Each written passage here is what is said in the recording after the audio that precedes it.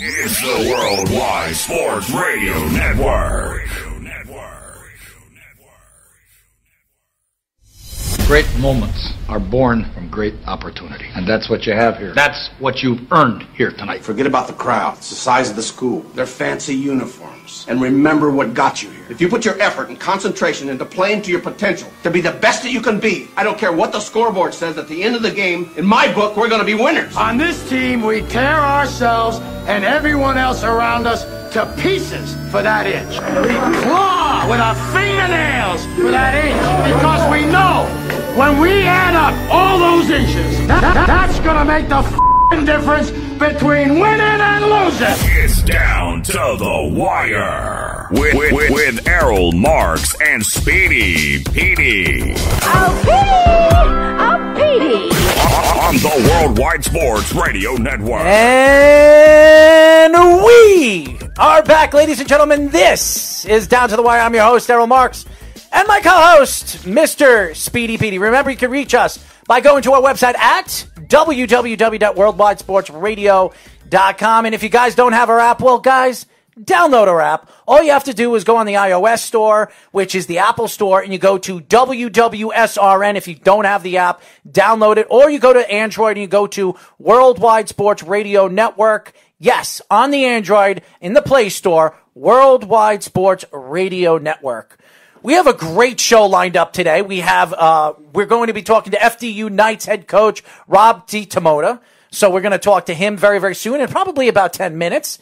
And a little bit later at 7 o'clock, we're going to be talking to Richmond Spiders baseball head coach Tracy Woodson. So that's going to, we're going to talk a lot about at the MLB, Tracy actually played for the last World Series champion Dodgers in 1988. So we're going to talk to him about his his role over there with the Dodgers in their championship year, and we're going to talk about really what they're going to do with their teams moving forward and and where they see themselves as baseball managers in the future. If if in the major, major leagues or staying in the minors or going, in, you know, coaching. Um, rising up in college. yeah, ranks. college Yeah. rankings. So we're going to get into a lot with these two head coaches very, very soon. But before we do that, I want to give a shout out to all the fans out there, uh, all the people that are going through this COVID 19 pandemic. Uh, everybody that's been dealing with it, we want to give a shout out to all of you guys that have put in the time and, and trying to help out right now in the world because there's so much going on. There's so many problems going on in the world. Nobody even talks about some of the little things that are going on, but COVID is a big thing that's going on in the world. So I want to give a shout out to all the fans out there that are dealing with it. And I, I do want to get into this particular story before we get into uh, talking to Rob.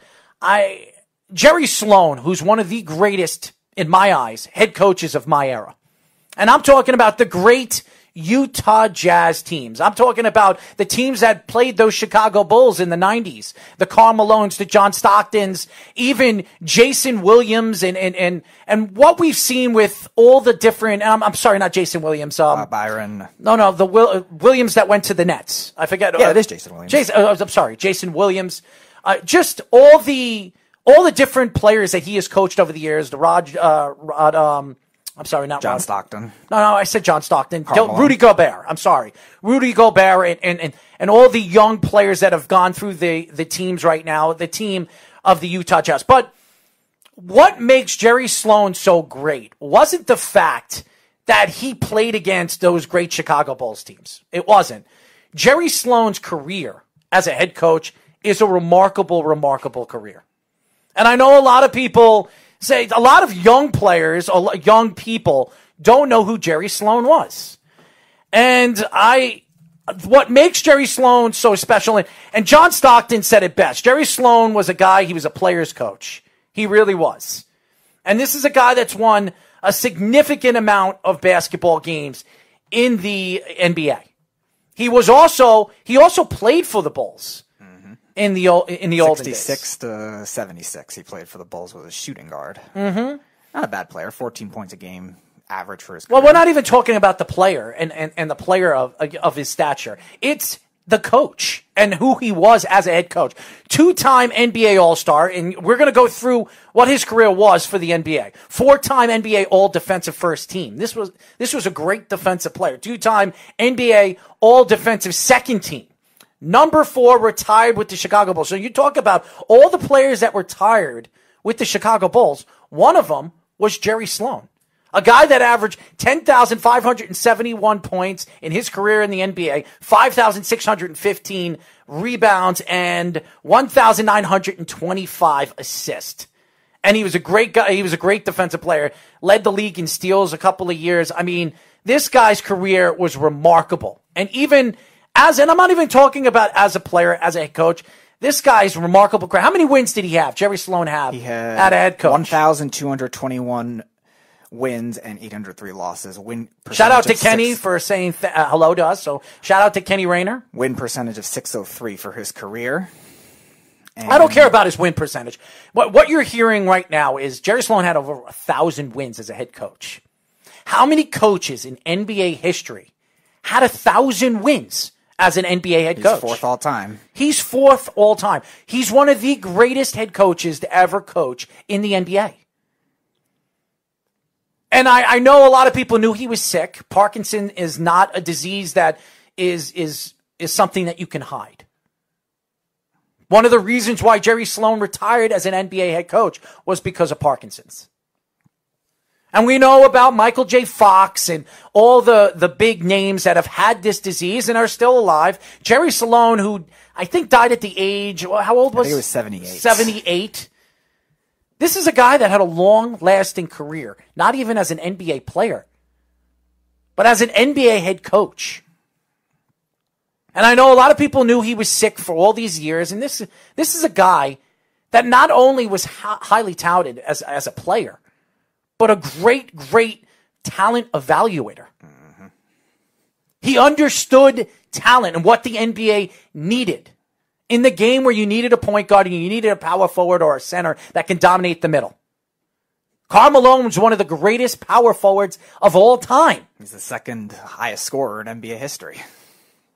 And John Stockton, who's one of the most underrated point guards that nobody even talks about it. Nobody even tries to put him in the, the whole storyline of who the top point guards of all time is. Some people put Isiah Thomas. Some people put Steph Curry. Some people j- put Jason Kidd or even Allen Iverson. Magic Johnson. Or Magic Johnson. Nobody puts John Stockton there. Meanwhile, John, John, Stockton, Stockton, leads the league all time in assists and steals. John Stockton is one of the greatest point guards to ever play the game of basketball, which is never even touted. Some some of these young analysts or broadcasters really don't know who this kid is or this guy was as a player. But Jerry Sloan, who was very well respected around the NBA and, and really throughout professional sports. And Michael Jordan said it best. One of the hardest teams he's ever played against in his in his career of basketball was the Utah Jazz. yeah, And the and back to back years, yes, they beat the Utah Jazz, but they went through highly profiled games in those uh, Western. Uh, I mean, I'm NBA sorry, finals, NBA yeah. final championships. I think the Jazz won the first two games, both those times, one of which was in Chicago, too. So they definitely gave him a tough test. And 64 and 18, 62 and 20 were those two teams, or those two years for the Jazz in the regular season. Again, it's a small market team. It's not like Chicago that you, you could bring in these players. They had to really home grow a lot of those guys with Stockton and Malone. And Jerry Sloan did an excellent job with that. And obviously, he did that with even after that too. His records weren't as good, but they were still a consistent playoff team for the most part. And uh, again, like you were saying, one of only nine coaches to finish without over a thousand wins. It's it's a really remarkable career as a basketball player who is only one of probably ten or eleven numbers that has ever been re- retired with the Chicago Bulls. And then you talk about what he did as a head coach, which is one of the greatest, really one of the biggest accomplishments any NBA coach has ever had. No doubt about that. I he probably I think yeah he's definitely the winningest coach. Or no, he's the second winningest coach that has not won a title. Oddly enough, Don Nelson, who leads the league and uh, wins, did not win a title either. So he's second in that, and he's fourth all time. And I want to give a shout out to Patrick Ewing. Patrick Ewing right now is in the hospital with uh, the coronavirus. He's very, very sick. And, and Patrick Ewing, who has had a lot of medical problems over the last couple of years, and, and I, I don't know the behind every single thing that he has or he's had over the last couple of years, but he's had a, a significant amount of problems, medical problems. Uh, this is a big story because he's still in the hospital and he's still in the ICU. So the, as the story grows and as it keeps pushing, you know, pushing forward, uh, we will relay all the information that we can on Patrick Ewing and, and what he's going through right now. But uh, shout out to Patrick Ewing, who right now is in the hospital with the coronavirus. Uh, a guy that I've I've I've grown to respect. I, I grew up a New York Knicks fan, as everybody knows, and and the great years of the New York Knicks, the '90s New York Knicks, and you can say whatever you want, and Michael Jordan can say whatever he wants about those New York Knicks teams. One of the main reasons why those New York Knicks teams were great was because of the great Patrick Ewing. So.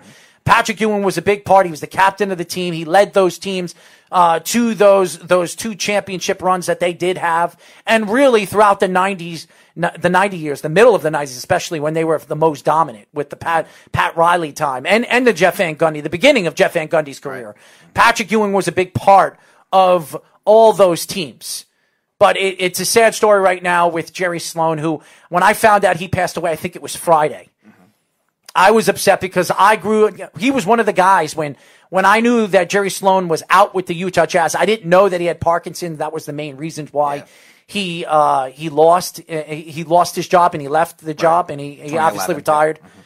I, I I didn't know the whole story behind it until I he was one of the guys I wanted to take over for the New York Knicks. Yeah, not they, Jeff not Jeff Hornacek. Right, and I think uh, Mike Mike Woodson was the interim at that time, and I think the season after that, I think he wanted to coach again, but again, he just had all those medical issues. Oh, and Anthony Carricker, shout out to Anthony Carricker. Ewing came out of the hospital one hour ago, so uh, that's that's interesting. But uh, hopefully, Patrick gets uh, healthy. This is a guy, like I said, had a lot of medical problems, and uh, he's the the head coach of the Georgetown uh, basketball, uh, uh, college basketball team. So uh, a guy that needs to start recruiting. I mean, recruit session is advised for Patrick Ewing, especially with a team that has really not gone far in those tournaments in many, many years. No, I think I don't think they've made it since 2015. They were a four seed. They lost, I think, Utah in that tournament, and now they just lost one of their best players, probably their best player to transfer. It's it's absolutely crazy. So Shout out to Patrick Ewing, and hopefully Patrick Ewing gets healthy. He's now out of the hospital. Thank you, Anthony. And shout out to Jerry Sloan's family, a, a guy that is not only well respected in the NBA and the culture of what the NBA is today, but the culture of head coaching. And you can ask Coach K, Coach Williams, anybody in coaching who Jerry Sloan is and how well is he respected, not only with the players, but some of the coaches, the highly profile coaches in college basketball. Jerry Sloan's name is definitely one of those guys you have to look up to. So shout out to Jerry Sloan and his, his family, uh, a, a very well respectable head coach in the NBA and has been in the NBA for many, many years. May he rest in peace. When we come back, ladies and gentlemen, we'll have FDU Knights baseball head coach Rob D. Tomo. D. Totoma. Totoma. I'm sorry. D. Tomoa. Oh, Toma. D. Tomoa. It's Toma. D. Toma. There you there go. you go. All right, Speedy. You know when when we do have these guys on the show, you have to sound them out because again, I'm reading off a sheet over here. So D. Toma we will have Rob DiToma. I'll figure it out. when we come back, we'll have the FDU Knights head coach here on the Worldwide Sports Radio Network. It's the Worldwide Sports Radio Network. You're, you're, you're listening to Down to the Wire on the Worldwide Sports Radio Network.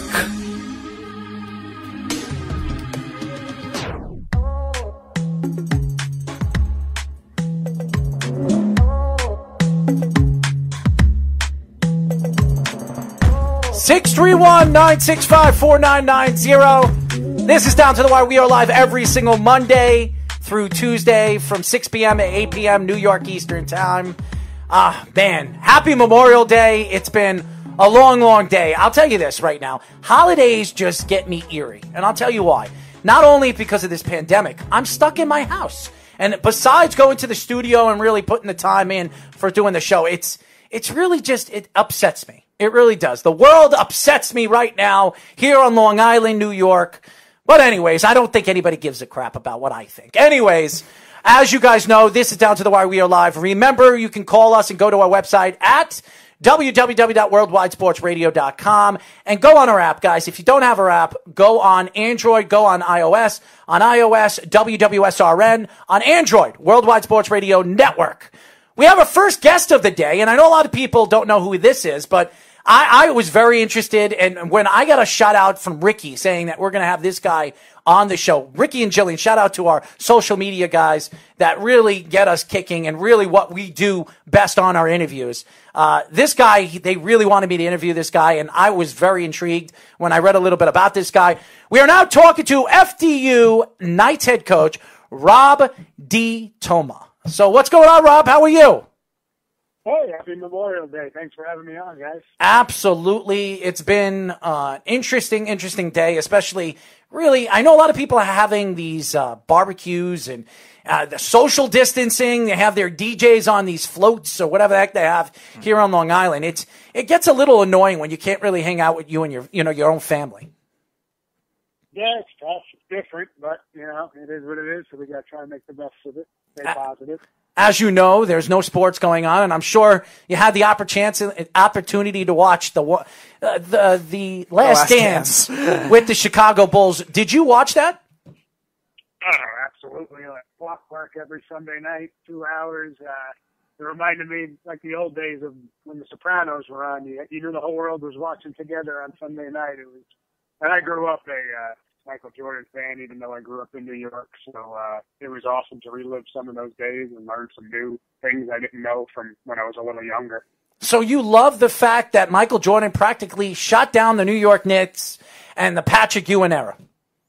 Every year, loved it. I was hated by most of my friends, but you know, I think you're around the same age, so you grew up with all that. Uh, Bulls Knicks, every everything was a war. You know, it was they were just classic basketball games, but it was fun. Man. I remember the days being like those Sundays in May would be like an NFL Sunday is now, with how many people seemed like they were watching it. Were you a Knick fan or a Chicago Bulls fan? Bulls, yeah. Really, really. So uh, he loved this. a rare breed. Oh man, Bulls Come fan on. in New York. Rob, what's going on, man? I, I, mean, you live in New York and you're rooting on Michael Jordan, the enemy. Come on, Rob. well, you know, I guess it's uh, everyone, you know, they would say front runner and this and that, but it was really hard not to be a kid and be uh, into Michael Jordan. I'd say around that age, you know. As you guys know, we are talking to FDU Knights head coach Rob D. Tomoa. So, um, DiToma. I got it. I got it. You don't need to correct me. I got it. D. Tomoa. D. Toma. Anyways, uh, Rob, tell us a little bit about your career right now in FDU and, and what FDU moving forward. What what is the team? Uh, where do you see this team going in the near future with with your recruiting and the scouting over there at your school? Absolutely. I mean, this was uh, last June, or officially last July, is when I got hired as the new head coach at Fairleigh Dickinson, and uh, it was an interesting time. You know, there was a lot of players in the transfer portal, which I'm sure you're hearing more and more about now. So when I took over, the roster was obviously depleted. A lot of people were leaving, so it was definitely what you'd call a, a rebuilding situation. Um, and then we, you know, we hit the ground running. I hired a pretty exciting staff. I'm, I'm really happy with Steve Atkins and Ethan Newton, my assistants, and we hit the ground running recruiting and all those guys that we recruited from last year to this year will be here in the upcoming fall, um, which we're really excited about. It's a, large class. Uh, is bright. But I was actually pleasantly surprised with, you know, everyone's telling you rebuilding to take some time. I was really surprised. I wouldn't say surprised, but the work ethic and the talent that was already in place here, uh, it was, it, it made me think we had a, a chance this season. And unfortunately, uh, the season getting cut short after 13 games, uh, you know, we didn't really get to pick out the way it was going. We missed out on a lot of development of these guys, but but the future is bright. We're really excited about what we're trying to build here. I think uh, we're on the right path. One of those players that stood out in those 13 games was Tom Rushidi, who was a third baseman and outfielder. He had 364, five home runs, 11 RBIs. What stood out t- about him most to you?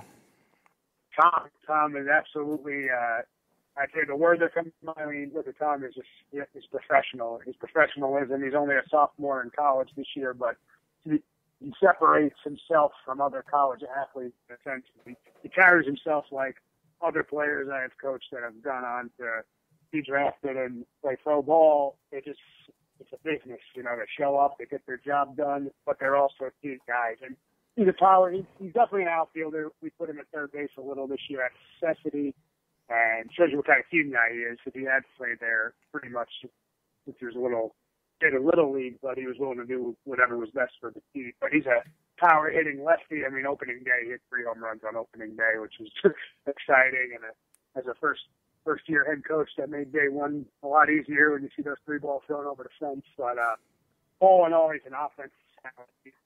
Top five, top in a lot of offensive analytical categories this year. We are really excited about Tom. Do you preach defense or do you preach offense? I know the league has changed. Major leagues, the MLB has changed for baseball. A lot of people want to see power. They want to see home runs. I know college and I watch the college world series. I, I don't really watch the college season because a lot of people don't until the college world series comes right. around and they watch the tournament. What do you preach? Preach? Do you preach pitching? Do you are you looking when you're recruiting? Are you looking for some top pitchers? Are you trying to look for great defensive players in the field that have a great offensive ability? Oh, absolutely. I mean, the old adage in baseball, pitching and defense win games, and it's absolutely true. It's just um, on the recruiting circuit, the top-notch pitching obviously is at a premium. It's going to go to probably your bigger power conferences. So pitching. Um, there's a bit of a development at our mid-major type level of Division One. So absolutely, if I had my pick, we'd have power arms and we'd roll right through and easier to hold the team down. So we're never going to not build through that. We're always going to be on the lookout for that. But I kind of, as a long-time assistant, I, I guess you could say I made a name for myself being, uh, obviously I was on the offensive side of things. I was a infield hitting coach, but where I started to get a little recognition was as a base running guy. We led the country when I was the assistant at Fordham back to back years. We led all Division One in stolen bases. Uh, so it's something we try and do. We try and get athletic. We try and run and create a little havoc on offense. You can combine that with the pitching, uh, which was a nice formula at Fordham University where we won when I was the assistant. Uh, I think those two things combined, when you got pitching and you can steal some runs here and there, it's a good combo. When you were at Fordham, there were two guys that just got drafted into major leagues, one of which we just had on air a couple weeks ago, and Kyle Martin. Uh, those guys drafted into baseball. What did you like most about their style of play and as people when you were coaching there? Uh, Kyle is an unbelievable talent in the sense of uh, just raw athleticism in the arm. I mean, he was he threw from an awkward kind of three quarter ish low side quarter uh, sidearm angle, and the best part of Kyle was this mentality he had that he was just wanted the ball. He was our back end guy, you know, closer, I guess, in more typical terms of baseball, but it's a little different in college because sometimes you bring that guy in in the sixth and you let him ride. But for the main he was that guy who could just get you that three to six outs whenever you needed it to hang on to a lead and you felt comfortable with it. I mean, in the Atlantic 10 championship game, he came in in the seventh inning. We were trying to get the last nine outs and we're one out away from the championship, and we still make fun of him. He gave up a home run to tie the game, and then he pitched all the way till the 12th. We were able to, to win in the 12th, which is obviously not typical here. Closer, but you, know, you don't hold anything back on the team. But that it, it speaks to what Kyle was. He, like most of the guys that I've been fortunate enough to get drafted and climb, it's it's an humble, like I said about Tom. It's just this professionalism that you ask them to do something and you never have to worry if they're going to do it you didn't even have to be there. They have such a plan, a regimented work ethic that they're able to attack each day, whether a coach is there or not. And a lot of times you're just, I mean, say you're along for the ride. You get to, you give them advice, pointers, but it's unbelievable what those kids were able to accomplish, especially Kyle.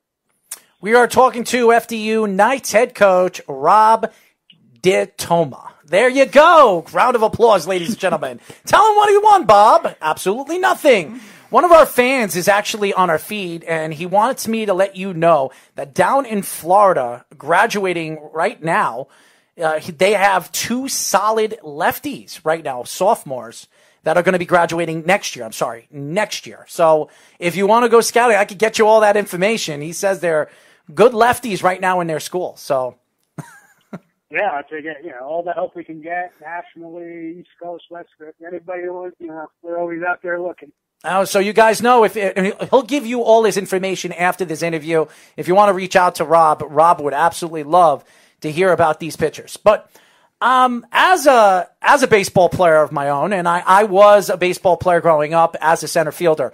I what I learned as a leadoff hitter was bunt the ball, try to get on base, and use your legs to steal, you know, steal bases and, and try to get into scoring position. So you give the person in the batter's box an opportunity to get an RBI. Now, do you preach that or do you preach a different style of ball? Uh, you know, especially with the league has transitioning with power, like I was saying. Do you preach that or do you preach the American League ball with power?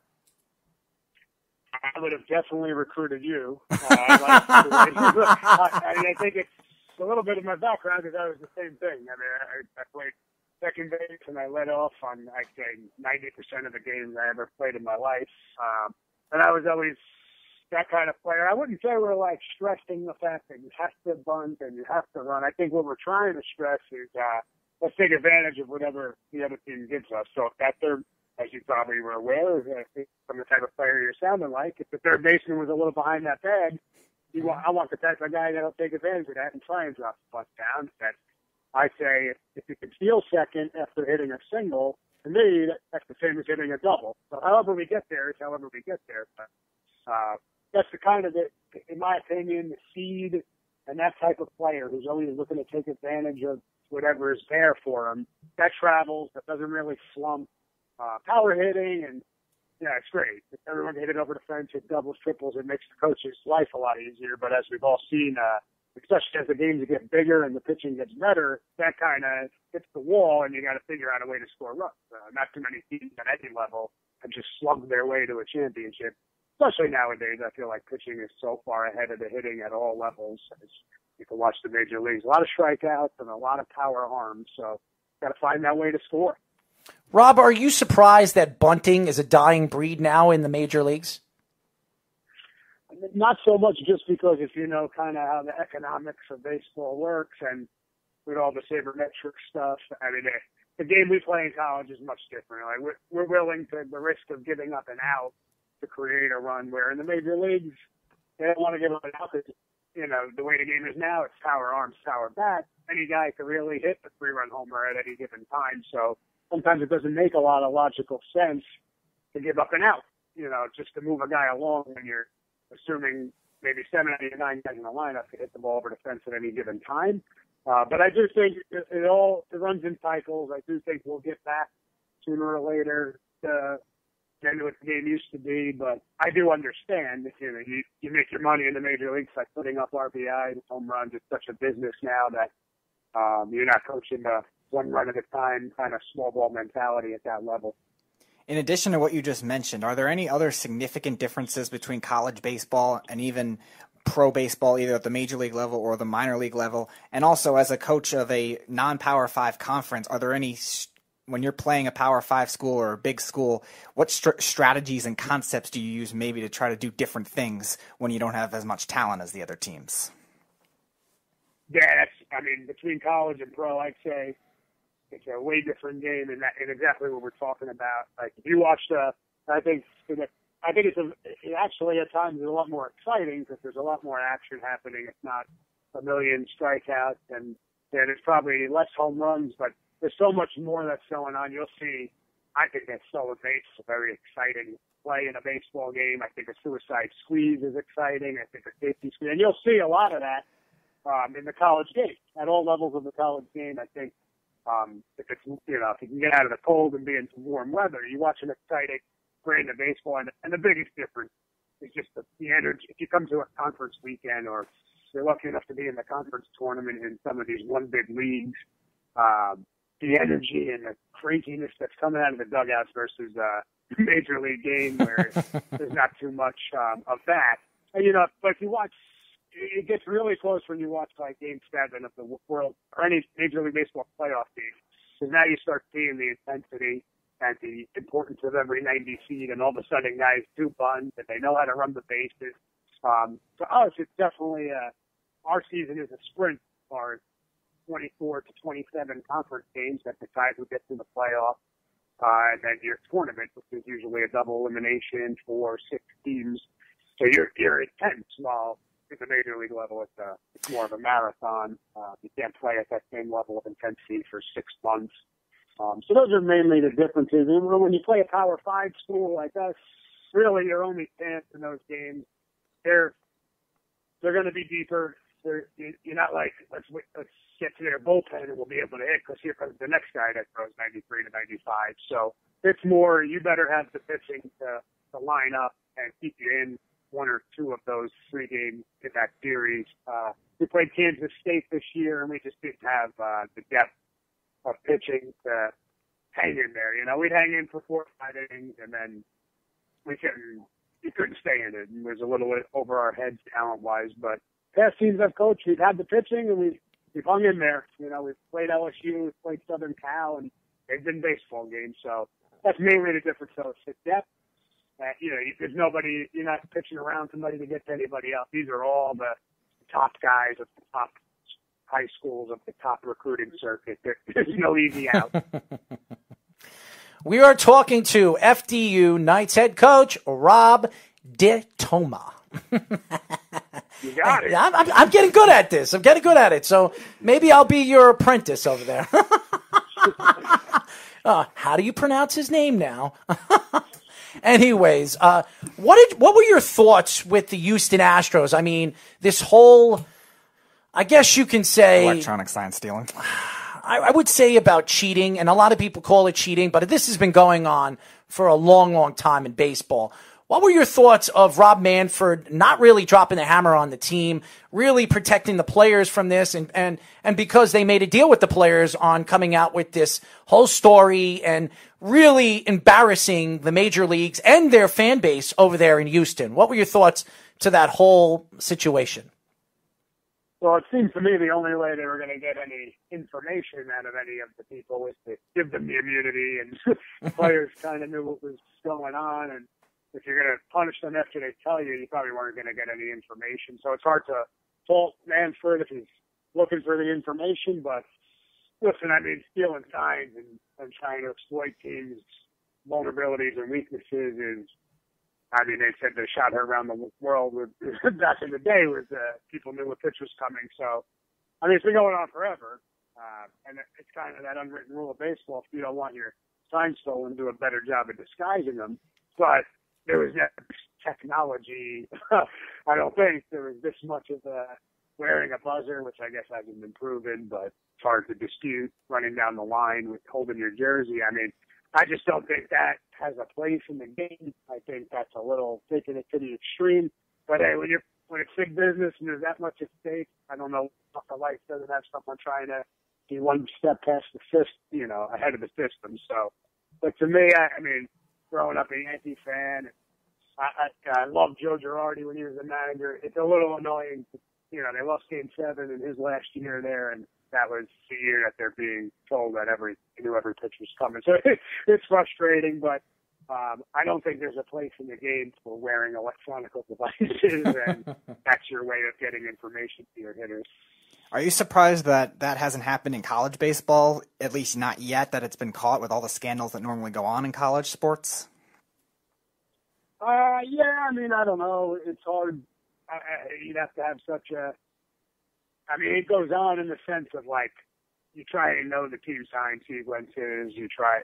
I mean, to me, there's nothing illegal about a, a runner on second base signing pick up the sequence from the catcher. I mean, that's like a normal offense college baseball. So you're always changing up your signs. Uh, and now that as we get more technology in college, there's every game's being streamed, every game's on TV, so there's cameras in center field. So even game to game as a coach, if you have a lot more work to do, you can't have the same sign sequence the following weekend as you did before with a man on second.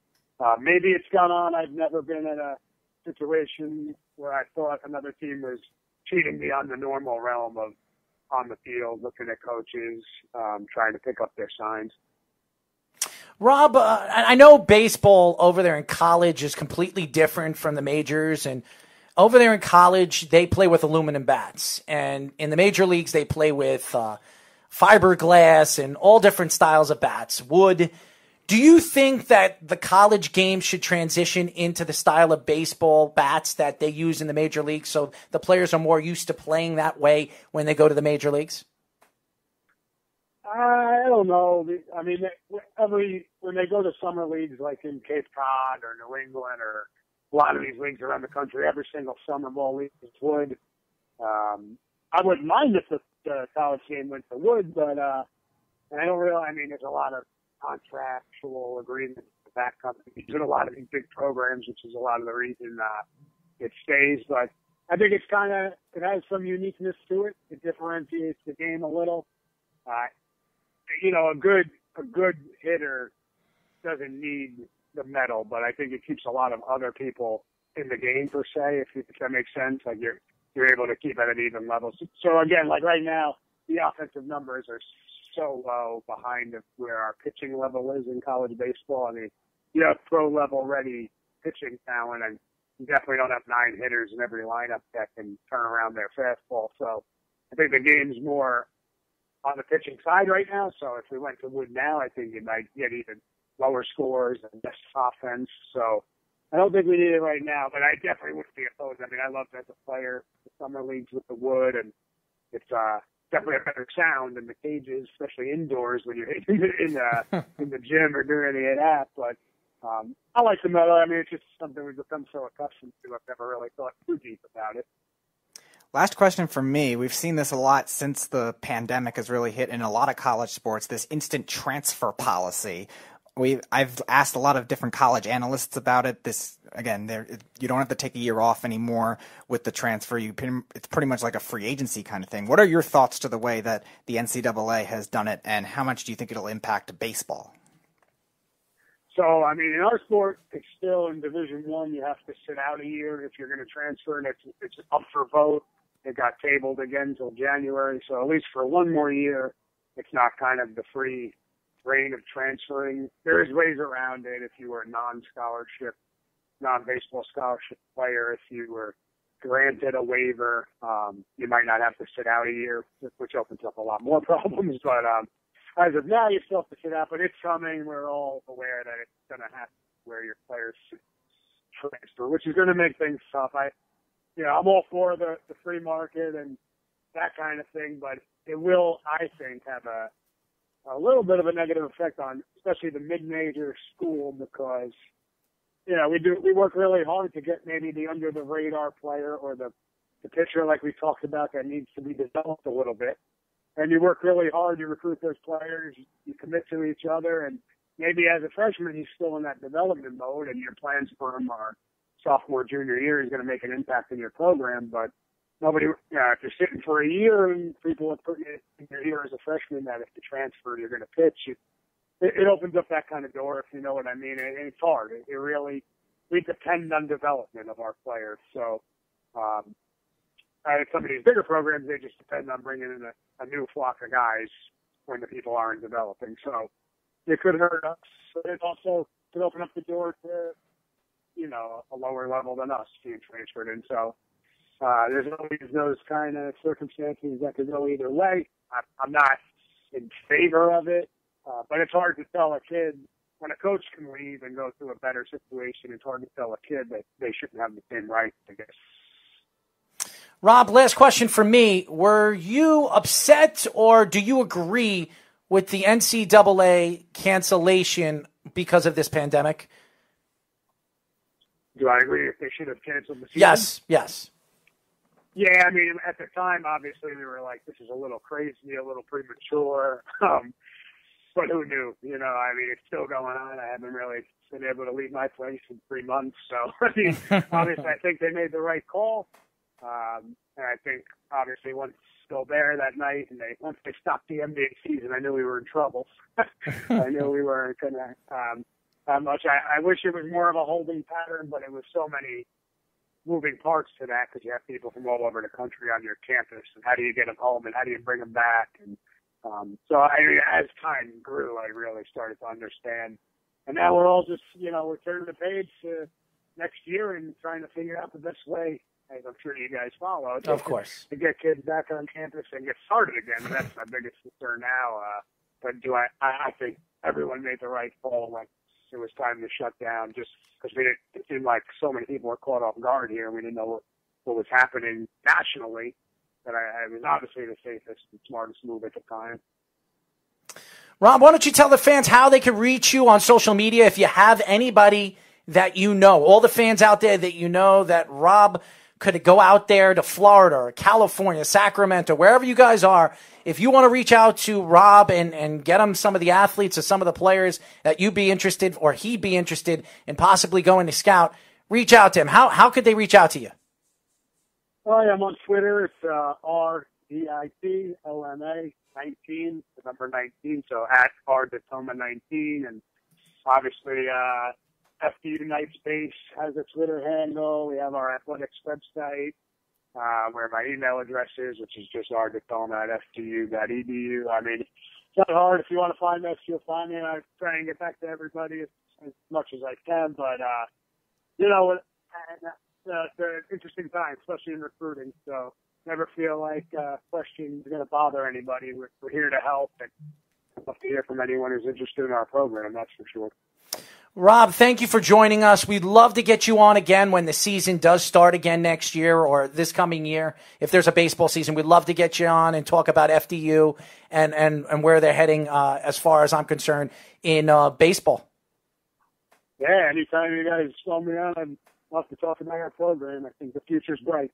Oh, and we, we've been reading a lot about you guys, so we're, ex- we're very excited. We actually talk to uh, Mr. Martin's la- last week. It was last week. Kyle Martin was two weeks ago. Yeah, um, two weeks ago, and we talked to him, and he spoke nothing but high praise of you and your program. So, uh, uh, one of our uh, social media people actually reached out to us and said, "Let's reach out to his coach and interview his coach." So, uh, you gave us some great insight of what's going on in the college rankings and what you thought about the whole Astros situation. So, we really appreciate you joining us. Thanks, guys. I appreciate it. Hopefully, uh, good luck with the show. Good luck with Coach Woodson. He's a great guy. Oh, we're definitely we're looking forward to uh, interviewing him very very soon. I think it's seven o'clock, right? Yep. So we'll have Coach Woodson on, and we'd love to hear his intake of 1988 with his uh, Dodger years and and winning that World Series, and where he sees his Spiders going in the near future. So thanks, Rob. All right, guys. Take care. Thank you. Rob DiToma. Yes, I got it right. Third time in a row. Yes, it was good. It was good. Great interview, by the way. Um, when we come back, we'll get more into uh, what's going on in the MLB next, and then we're going to have uh, our next uh, our next guest, um, Richmond Spiders baseball head coach Tracy Woodson, here on Down to the Wire. It's the Worldwide Sports Radio Network. You're, you're, you're listening to Down to the Wire on the Worldwide Sports Radio Network.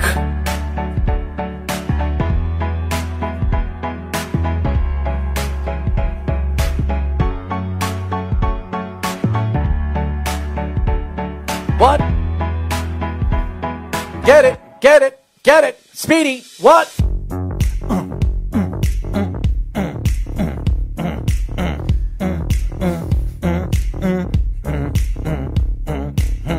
Dun dun dun dun dun dun dun dun dun dun dun dun dun dun doom doom doom doom doom doom doom doom Snug the cat is a pain in the butt. What? 631 965 4990. Here we go. This is Down to the Wire. As you guys know, we are live Monday and Tuesday, 6 to 8, New York Eastern Standard Time. And I'm going to tell you that I like to run. Come on. Yeah. www.worldwidesportsradio.com. I am not a rapper, ladies and gentlemen. I'm just a talk show host. I like to have a little fun. As you guys know, we are always live Monday through Friday, and there's we have some great shows. Shout out to Ryan Hickey on his great, great, fabulous show this morning on the Morning Boys. He gave us some good intake of onside kicks, and really, uh, what everything is going on in sports. And there are things going on in sports. It's just it's just not what we expect at this time of year when we talk about the March Madness that we we've missed and mm-hmm. and the NHL and NBA playoffs, which we'll get into a little bit later in the show, and and we definitely got to get into that, but. This particular story for the New York Jets, and I know I said we were going to get into baseball. We're going to push that off until we're done with our interview with Tracy Woodson. I, I do want to get into this story because the Jets added a backup quarterback this uh, this weekend to the New York Jets roster, and it's no other than Super Bowl champion Joe Flacco. And I love this move by the New York Jets and Joe Douglas. Not the fact that you're only paying him $1.5 million, and this guy will probably be one of the best backups in the NFL right now. This is a guy that can help Sam Darnold grow. And Joe Douglas, who comes from the Baltimore Ravens organization, who was a part of drafting Joe Flacco in the time that he was drafted, it gives them a, a reliable source for a young quarterback to go to, which he didn't have last year. Uh, where, and I, I don't want to hear about Trevor Siemian. Trevor Siemian is a quarterback. he was a, a real, he was a backup quarterback his whole career. This guy was a seventh round draft pick and he's, he never won anything. Yeah. Joe Flacco won a Super Bowl. Joe Flacco was a Super Bowl MVP. This is a guy that was a big part of the reason why the Baltimore Ravens won a Super Bowl. That was one of the best postseason performances you'll ever see from a quarterback. The one he put up in 2012 when they were a four seed. It gives the Jets uh, a quarterback that's going to help this young guy really start to develop under Adam Gase's offense. And I know Joe Flacco didn't play under Adam Gase, but he understands the fast paced offense that Adam likes to run, and he likes to use the running game. And what did the Baltimore Ravens love to do? They loved to run the ball. It seemed like when Flacco was there, besides Ray Rice, who was really the only feature back they had, they kept rotating different backs too. So Flacco had to deal with all that. When it was one year of Justin Forsett and then Lorenzo Taliaferro, Alex Alex Collins, he had to deal with all that. So if Adam Gase rotates the running backs like we know him to do, he'll be used to that. It's going to help the New York Jets, especially if Sam gets hurt again this year. This is a problem that Jets have had year in and year out with the quarterback position and. Uh, they like to bring in veteran quarterbacks for under Sam Darnold over the last couple of years, and it has worked and it has helped Sam development. So I think that bringing in Joe Flacco, a guy that's won a Super Bowl, that has the background of a championship competitive player, well, it's going to help this kid grow. It's going to help some of the older players and younger players, especially C.J. Mosley, who played uh, with Joe Flacco over the last couple of years before he came to the New York Jets. Rashad Perriman too. Yeah, so it, it gives them a little bit of a voice, not only in the locker rooms, but it helps Sam Darnold out that he has somebody that he can trust on the bench that can give him some information if he can't answer the, you know, the questions or the play calling and the audibles at the line of scrimmage. Joe Flacco can absolutely help him. So I think this was a great Jets move and and just hope that Sam Darnold could stay on his two feet, that you don't have the opportunity to see a guy like Flacco this coming year. But so, even so, it's a better insurance policy than what they had last year. So if Darnold does get that injury prone label, I know last year was more of a freak thing with the mono, but he was hurt the year before. So if he gets that injury prone label, at least they have a, a very suitable back. A reliable now. quarterback yeah. who, who could play the offense and could help out if Sam can't play a game or two this year. I hope that doesn't happen. I hope Sam plays for 16 games because the Jets need it. They absolutely need a guy that's going to be reliable year in and year out, which Sam has not been the first two years of his career. Hopefully, we get an opportunity to see Sam really grow at the position with the New York Jets, and bringing in Joe Flacco as a backup only helps them in the future, especially if they decide to bring him back another year. Because Joe says he wants to play two or three more years. So I don't think he'll ever be a starting quarterback in the league again. But to be a qualified backup quarterback for, for the future, especially for the New York Jets, it only helps the Jets and the organization grow uh, as they move forward. Joe Douglas as the GM. Especially too, with him being a very different type of quarterback than Darnold was in his prime too, he can help grow in terms of those other areas as well. We have our first caller of the day, and I know everybody knows this guy, and we know him as Jeff, aka Jeff from Tampa. What's going on, Jeff? Only Jets fans can do this, right? Like only Jets fans can spin Joe Flacco, the Joe Flacco signing is being a good thing. Like, how, how does anyone? How could you not think Joe Flacco is not a good signing for 1.5 million dollars as a backup? Okay, well, well, he lost his job to a guy that couldn't throw two years ago, right? Because at the time Lamar Jackson wasn't an MVP, and Lamar Jackson's rookie season, he was a quarterback that couldn't throw the football. Jeff, are you on your headset? Are you on your headset? There you go. I think we're going to get you better. There you are. That's better. That's better. Go ahead. job to a quarterback that couldn't throw two years ago. Then he went to the Broncos and was so terrible that he couldn't even beat out a bad Drew Lock for the Broncos job. And now he needed neck surgery, and somehow he's a reliable backup. We're going to spin that. Like, I realize the name Joe Flacco has some cachet. Joe Flacco's a Super Bowl winner. But I think everyone's remembering five, six years ago Joe Flacco and not the current Joe Flacco. Uh, again, Jeff, nobody is taking shots at you on your thoughts of Joe Flacco and where Joe Flacco is in his career. But Joe Flacco is a reliable backup quarterback. And for you to think, I think we lost him. Jeff, are you still there? Yeah. Oh, okay. I thought we lost you. But not to say that, and I, I, I, I, do agree with you. A lot of Jet fans are probably blowing this out of proportion. that uh, Joe Flacco signs with the New York Jets, and he's a reliable quarterback. But again, the Jets have not had a healthy Sam Darnold, and the Jets don't expect that Joe Flacco's ever going to have an opportunity to step on the field. But having Trevor Siemians, having the quarterbacks they had last year, adding Joe Flacco is a better a better option than going with uh, Trevor Siemians again or going after somebody of that magnitude. There are no great backup quarterbacks in the league except maybe Ryan Fitzpatrick, a journeyman, or uh, maybe if you brought Cam Newton, but Cam Newton don't want to be a backup quarterback. So there really aren't a lot of reliable. And Andy Dalton wanted to go to Dallas because he lives in Dallas and he feels better and more proper over there in Dallas than he would probably with the New York Jets. So is Andy Dalton really that much better than Joe Flacco though? At this I, I don't know. I, I don't know, but I'm, I, I bet you Jeff thinks so. No, I would definitely think Andy Dalton is better. Like again, you guys are.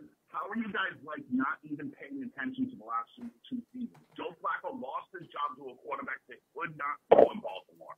Then he lost his job to a guy that couldn't even play last year in Drew Lock. How are you guys ignoring the recent history and then saying, "Oh, but it's a good sign"? Like all you're doing is living off of five years ago, Pat. He's a backup quarterback, Jeff.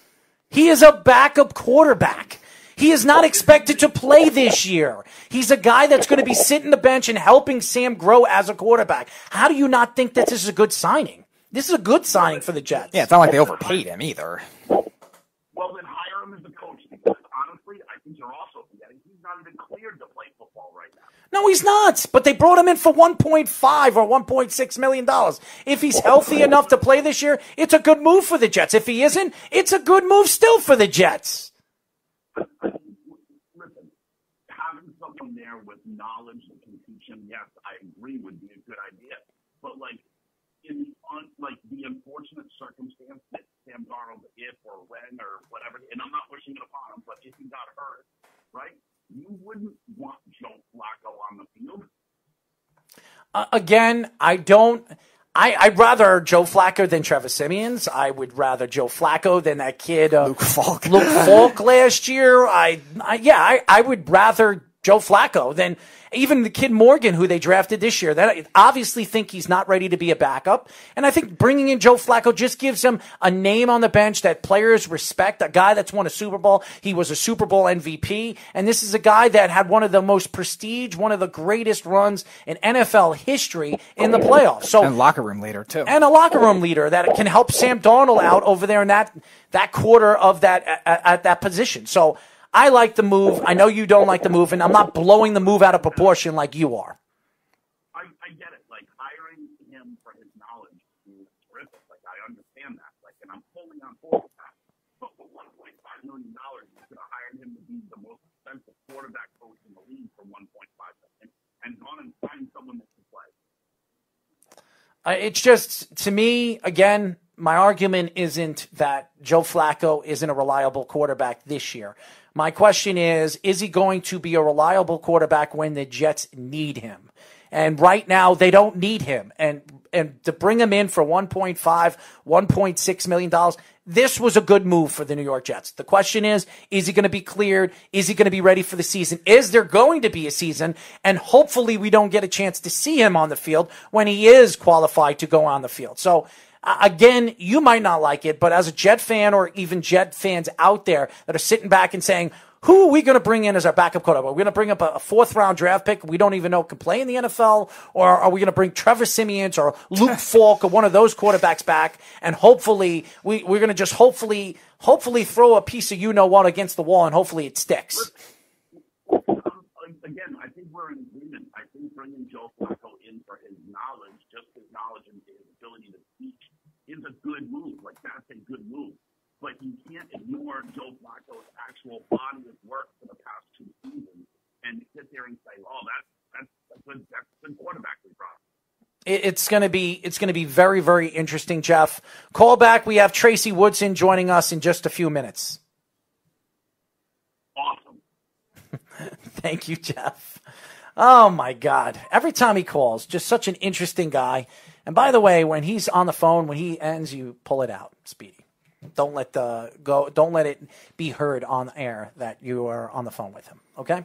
Anyways, uh, up next, baseball. Richmond Spiders baseball head coach Tracy Woodson played for the 1988 World Series champion LA Dodgers. We're going to talk about his career in the major leagues and his career as a head coach where does he see himself in the future, either in the major leagues, college rankings, or wherever he decides he plans to go in the future. We're going to have Tracy on in just a few moments here on Down to the Wire.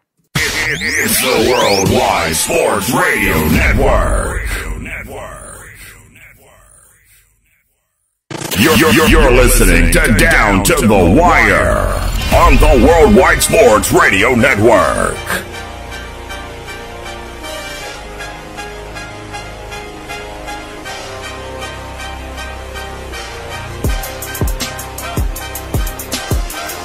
Six three one nine six five four nine nine zero. This is Down to the Wire. We are live every single Monday through Tuesday from 8, 6 p.m. to 8 p.m. New York Eastern Time, as you guys know. Remember, you can call us at 631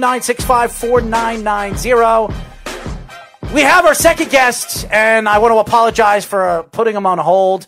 Uh, it's just been a crazy, crazy day, and uh, this is a guy that's been very well touted and, and really as a head coach uh, in the college rankings. And we are now talking to Richmond Spiders baseball head coach Tracy Woodson. What's going on, Tracy? How you doing, guys? We are good, man. How are you and your family go? You know, with everything that's going on with this pandemic, uh, have you guys been uh, social distancing and everything that's going on?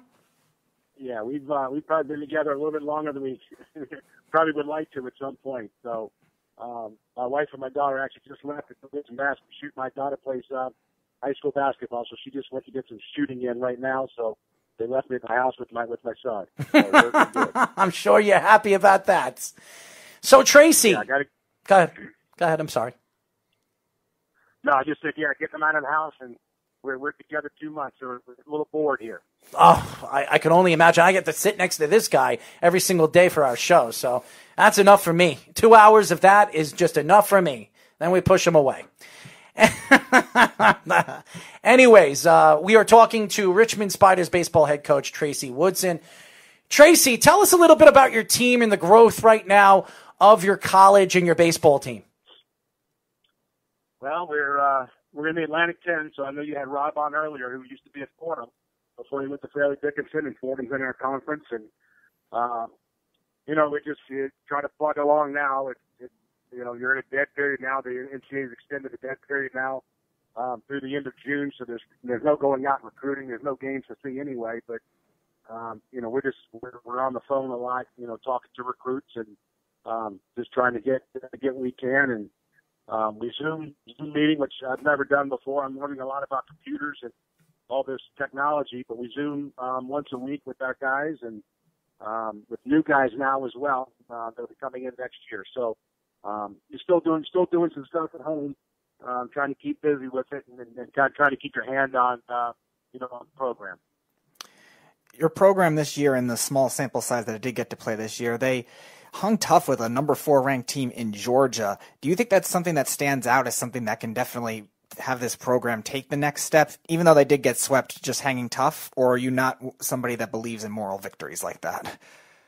No, um, you know, I'm a, I, I, I, which we, we're supposed to go to South Carolina next year. We, we do it every year. We, we're going to play somebody.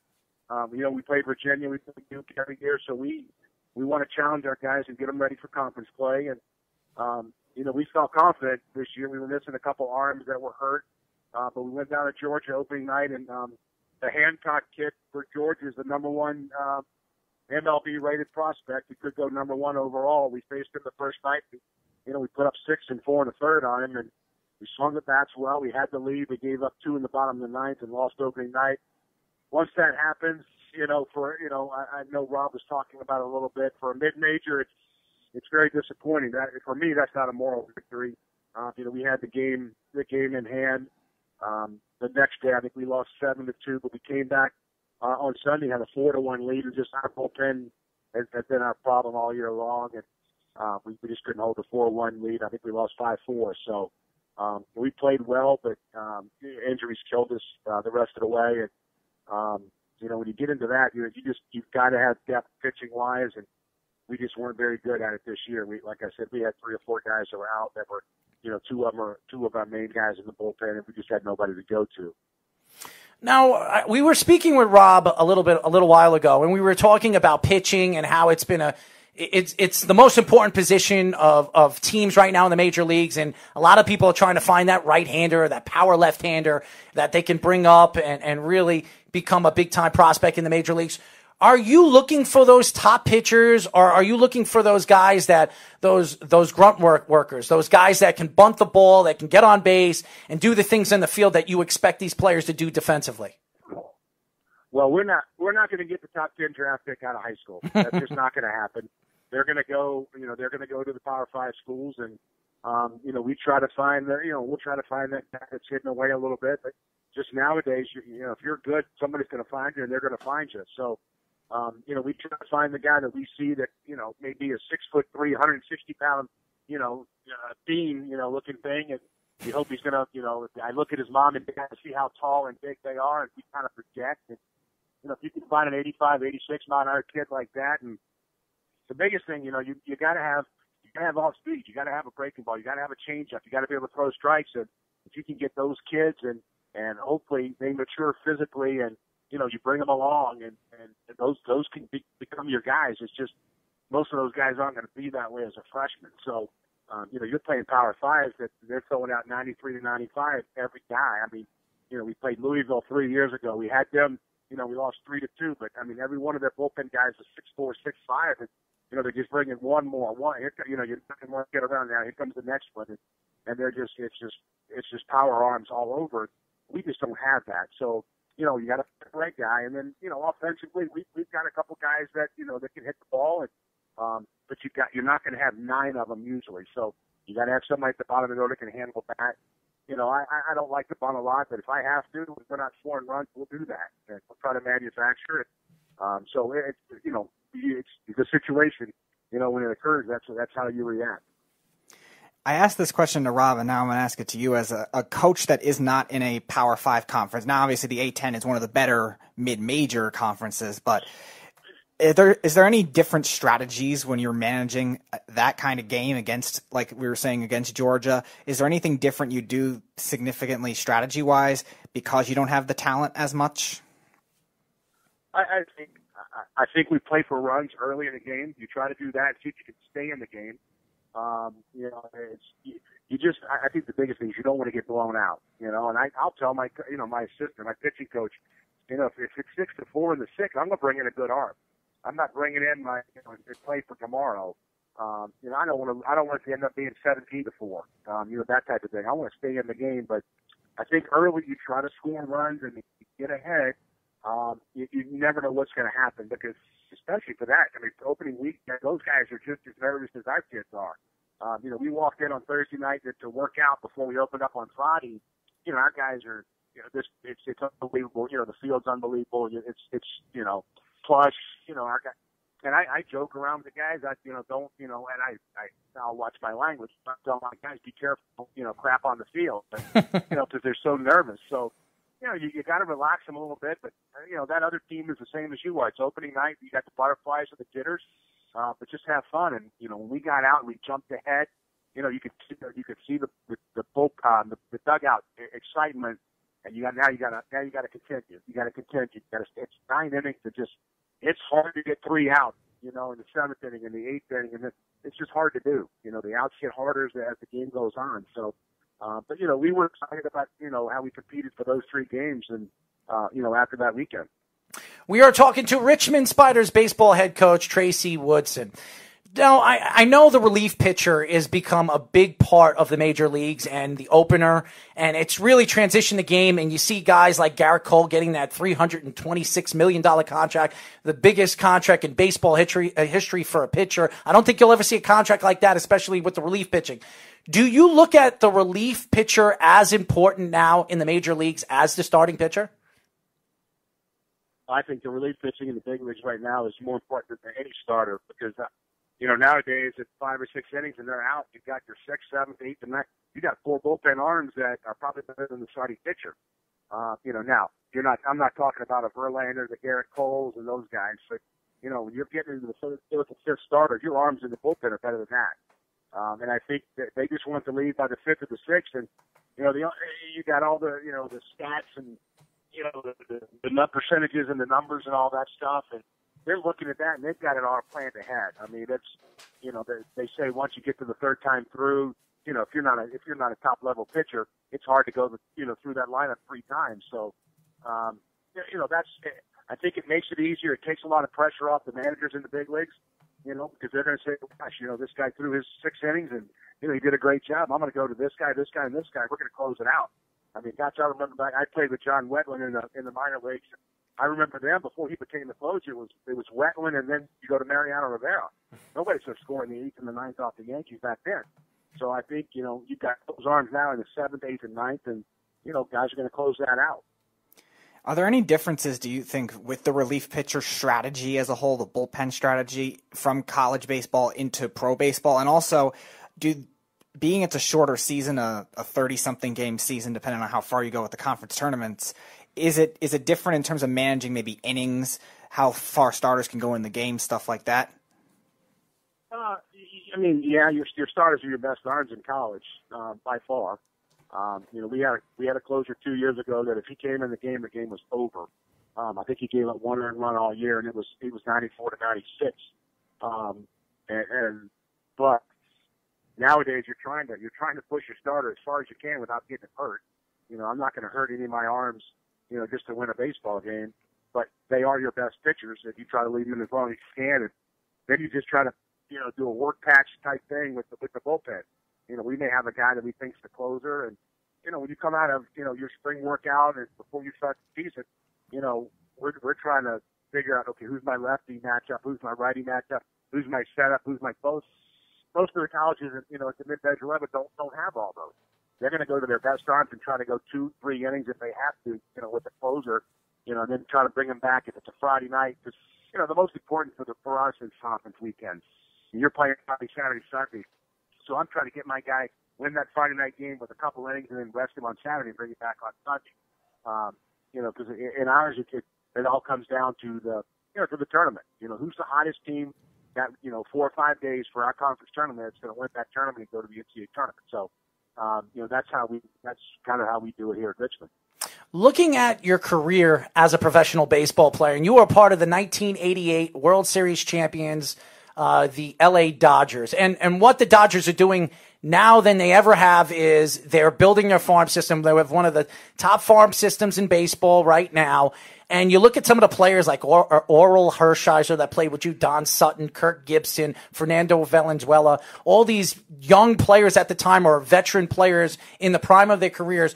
Do you see the Dodgers getting to that top of, you know, top of the mountain again? I mean, this is a team that's had opportunity after opportunity and fallen apart in the playoffs, maybe because Houston was cheating. I don't know. Or maybe it was just because of their lack of coaching or a lack of producing in the big game. Do you think that this team has the qualities of your team in 1988 did as World Series champions? Well, they definitely. I mean, talent-wise, they have but they have more talent than we had. Um, you know, we won 90 games. I think we beat the Mets. We won 103. We beat the A's, who had won 104. But we had, you know, Hershiser had the, you know, his career year. You know, Gibson was one of the greatest leaders I've ever played with. Um, you know, he gets one at bat in the World Series, and everybody knows what he did with that one at bat. But um, you, got guys that knew their roles. You know, I wasn't a starter, but I was ready to do whatever Lasorda asked me to do. We had a bunch of those guys, um, and so we were we were a different team. We weren't. I think we were one in ten or one in eleven against the Mets throughout that year during the season. We'd only beat them once, and it was probably. I'm, I'm seeing those games. I get text messages and um, this the last two months during this pandemic. I'm getting text messages because all the games are on. They're showing the greatest games of all time, and they're showing some of the the Mets playoff games, that great championship series. They're showing, you know, of course, Game One of the World Series in '88, and so I'm I'm getting to see replays of it a lot, and it just it brings back great memories just because we had a great team chemistry uh, amongst us. We didn't care who did the job, who did what. Uh, it was about winning. But you know, obviously Hershiser carried us, and Gibson did what he did. So um, you know, we did have those two guys, but a lot of the others were patchwork and uh, you know, not a lot of all stars in the team. But the Dodgers now, I mean, they're they're loaded. I mean, you know, they're they're they've got all stars almost sitting on their bench. Um, I, I think it's for them. It's just the pitching has got to, you know, it's got to, be consistent, and you know, I think Kershaw's got to kind of get over, you know, whatever it is in the playoffs. I mean, he's got great stuff now. I, I don't see Kershaw giving up what he did against the Astros, now knowing that you know they were tipping pitches, that could have been a different story because Kershaw Kershaw doesn't get let up like that. Um, so uh, I think that was a different situation once you find out you know what was going on because you know that team's pretty damn good. You played for one of the best managers that baseball's ever seen in Tommy Lasorda. What was the biggest thing that stood out to him as a manager and as a person when you were there? Well, I also played for Torre in St. Louis. Yes, so you did. I played, for, mm-hmm. I played for two of the greatest managers, and they were completely different. Um, Tommy was the raw, raw. Um, he would listen to Hershiser and Scioscia, you know, a lot on the bench, relied on his coaches a lot. Um, you know, Torre was a guy to just sit back, let you play the game. He was relaxed. You know, Tommy, gosh, Tommy would be on the top step looking in the stands to see if, you know, Barbra Streisand or Kareem Abdul-Jabbar, who was in the stands that night. I mean, it was like that all the time.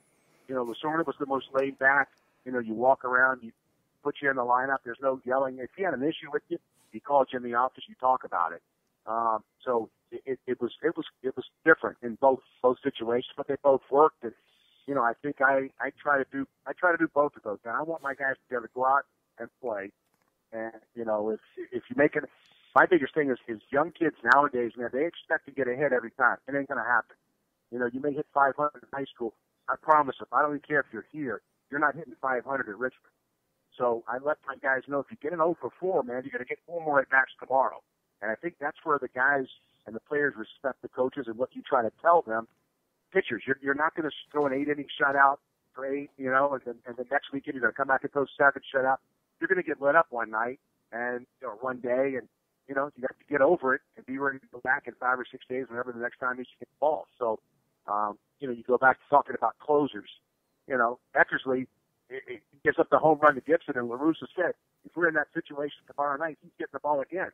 That, that's what you've got to do. That, that's where these guys know their role.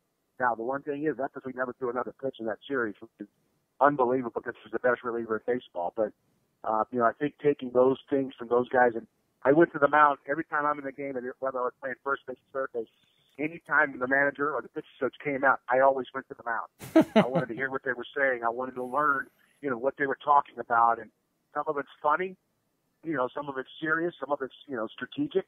Um, but, you know, I, I try to do that. I don't go to the mound. Most of the time, I don't go to the mound unless I'm taking the guy out. Sometimes I want to go up there and see how the kid reacts. And I can see the one kid goes, don't take me out. And he's looking me in the eyes. I'm leaving that kid in there, giving him a chance. And I think you know that's that's kind of the stuff I learned, and I, I try to you know that's how I try to do my stuff right now. We are talking to Richmond Spiders head coach Tracy Woodson. Now, Tracy, there's two questions I have, multiple questions right here. One of them is from one of our fans named Carl. He wants to know if you have any superstitions. And here's another question with, with the transition of the game and the change of some of the baseball rules with the electronic umpire, do you like these changes? And if you don't like these changes, do you have any ideas how you could speed up the game where it can make it better? Are we talking in, in the big leagues or are we talking in college? I would say college. I would say opinions on all of it. Uh, I would say college and the big leagues. I, I like to know your opinion on both well, of them. Uh, superstitions. I try to wear the same T-shirt every night. if I had a good night, if we win, I made sure that T-shirt got washed within my locker. I wore it. I wore it. If I went on to, you know, if I went into a slump, I'd pull out another one. Um, on, on deck circle, I took the same number of practice swings. If I swung the bat with my right arm, getting loose over my head, I did it three times. I did it with my left hand three times. Things like stupid things like that were kind of my superstition. um, I can't stand. I don't. I can't stand ever even thinking about using uh, uh, an electronic umpire. This is a human game. This is human error, human mistakes. That you know. I don't know if you guys. I've refereed college basketball at the Power Fives for 14 years.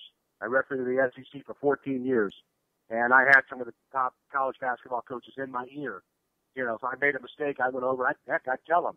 I do the same with umpires. You know, I'll say something to the umpire. These guys are going to make mistakes. That you can't make mistakes, you know, four and five times in a game. Uh, but that that's part of it. So I, I tell my kids, you know, my players come back and go, that pitch was outside. I said, what about the two you swung out in the dirt? so you, you you do have to throw some ownership onto these players because most of, you know, a lot of kids think they're entitled, but they need to learn. You know, the parents the parents coddle the kids. You know, they think they're this or that.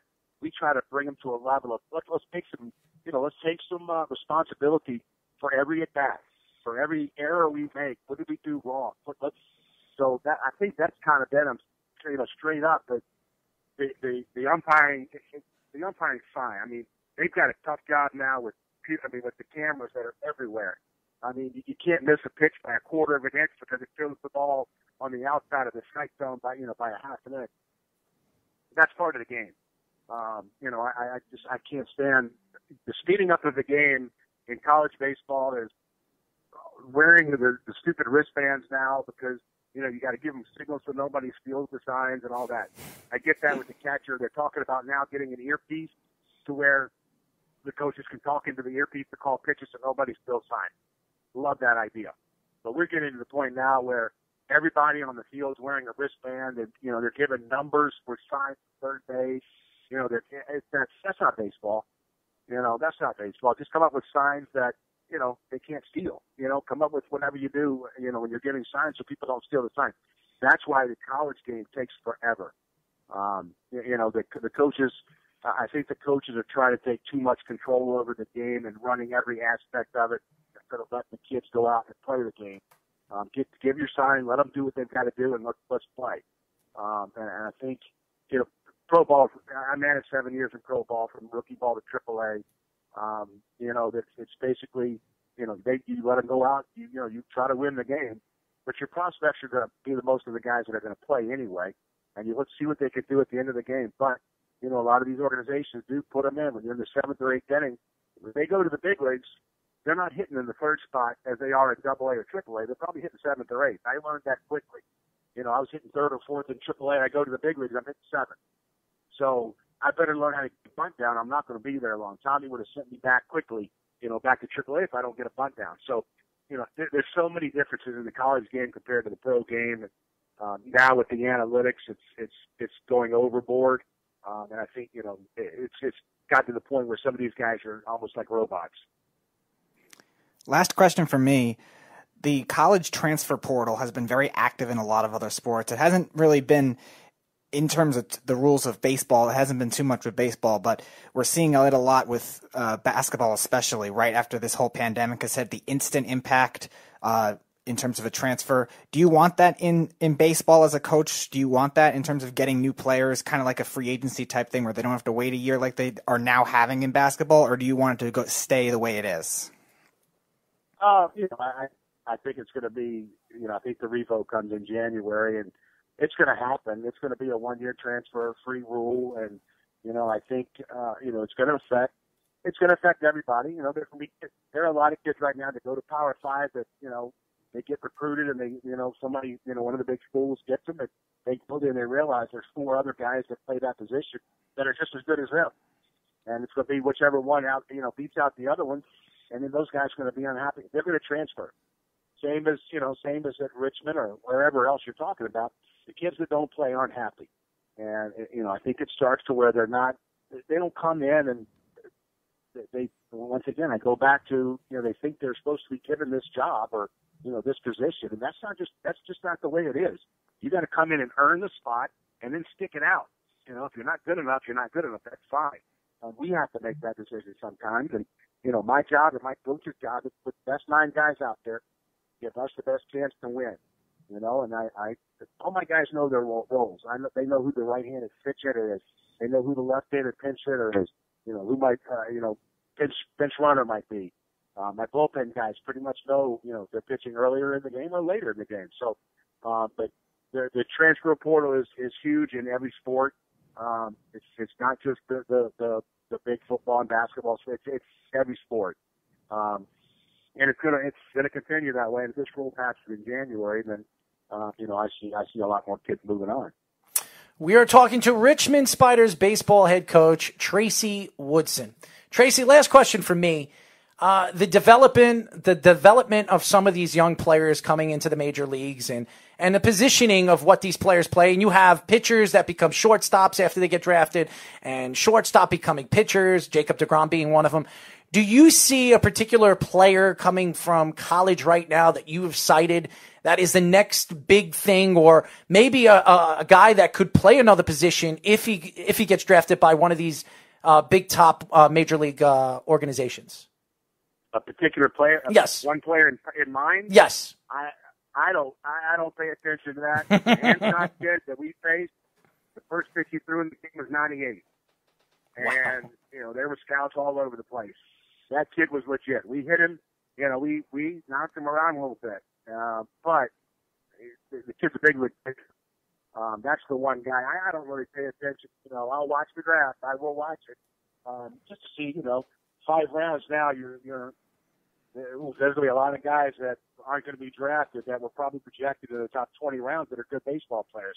I mean, if you go back and look at some of the guys that were drafted, you know, what was batting league, 21st round maybe, or, you know, when you go back to some of these guys that were drafted late, you're not going to have that this year. There's going to be a lot of guys going back to college that are really good. So it's, it's, it's just, a, it's a, it's, it's a crapshoot now for five rounds. They got their work cut out for us and uh, for themselves now uh, with, with who they pick. Well, I will say this, Tracy. You gave us some great information, what's going on in the college rankings, uh, the major leagues, and, and, really your background. You still have that World Series ring? Oh yeah, I, absolutely. I got I got an, I, I got one with the Marlins also when they beat the Yankees because I was the Double A manager. Oh, um, that year as well. So I do I do have that one. Oh, so you got two so rings. I was, I was hoping you guys want to ask me about Flacco because I'm I let me tell you, I, I'll talk to you about any sport there is except for uh, auto racing. Really? So I, I I could sit here and listen and talk about it all day, and I, I you know I know y'all were talking about Flacco, and that's why you know I'm a big Redskins fan. I know that's probably not good in your area, but, um, but, but when I was growing, but when I was growing up, Redskins are winning Super Bowls with Joe Gibbs. And, That's true. You know, so I, it's, it's been a long, long hiatus before the Redskins have done anything. No, when uh, Todd Bowles was the so, defensive uh, defensive player of the year. There you go. That's right. Maybe you guys need to just start a GoFundMe page to have Dan Snyder sell the team. they, they the ball to John Riggins, and uh, you know, so but I, I, you know, I love, I love, I love talking sports, and I'm a big Blackhawks hockey fan. Okay. Uh, so I, I love it, man. I know you guys have all the sports up there, and I, I I visit tremendously. You know, I'm watching golf yesterday. Oh God! I Turned on the I turned on the auto racing from Charlotte. I, I couldn't only last for five minutes. They'd gone around three or four times, and uh, I was bored. So, uh, do you like the Flacco move by the Jets? Uh, as a backup, yes, I do. Uh, you know, you're not going to have you're not going to have somebody with that kind of experience. Um, you know, I, I still don't think their starter is, you know, cemented in yet. I just, I just don't. Um, so you got to have somebody you can go to. You know, I, I, the Redskins have had Colt McCoy forever, and he gets hurt, and you know, I just, I don't know where they're going to go. Uh, you know, hopefully Haskins is the answer, but, um, you know, it's a, it's an awfully tough division. Uh, you know, the NFC East, and you know, gosh, the Jets finally get good quarterback play. You can move down with Brady out of the league. Um, so I, you know, the Dolphins, everybody, everybody can win that division now because the the, the Patriots, I think, are vulnerable. So, hmm. I, will definitely, I definitely want to get you on uh, to talk a little bit more baseball when your season starts. But now that we know you like about we, we you like basketball, you like hockey, like baseball. Well, maybe we'll get you on and talk a little bit other sports with us because I, I, love, love your it. intake. I love your intake. I love it. I, I love talking about it. I, I, I watch MMA. I saw you guys do. I, I went on it. Yeah. You know more about it. I know you. Guys, I'm not a. I don't like the arm bars and you know all that stuff, but I like the I like the the excitement of the MMA and you know, um, but I, I you know I, I love talking sports and this, this That's great. been fun for me. So Thank you, thank you for joining us. Uh, tell the fans how they can find you. Uh, and I know uh, we, we're going to get Rob uh, a lot of uh, different fans to send him out some uh, future stars in college that uh, maybe you'll you'll have the opportunity to scout. So why don't you tell the fans how they can reach you? yes, you can get me at, at Tracy Woodson UR, and then you can follow the team at Spider Baseball. There you go. There you guys go. I, I really appreciate you joining us, Tracy. Yeah, thanks a lot for having me. guys. Love to talk sports. Absolutely. As you guys know, that was Tracy Woodson. Great, great interview. Uh, he is the Richmond Spiders baseball head coach. Gave us good insight with everything, including uh, basketball and, and, and I'm, I'm not Football. basketball and football. Really, football. Gave us some good insight. Uh, he's a Redskins fan, so Well, there's nothing wrong with that. We'll, we'll, we'll have some uh, we'll have some fights if he calls back. Or as Carl would fan. call them the Deadskins. Uh, when we come back, I, I want to know you got your guys' opinion on, as far as I'm concerned, the the ba- top baseball players of the decade and why they were the top players of the decade. When we come back, we're going to narrow it down to ten players, and we're going to tell you why they are the baseball players of the decade. Here on Down to the Wire. It's the Worldwide Sports Radio Network. You're, you're, you're listening to Down to the Wire on the Worldwide Sports Radio Network.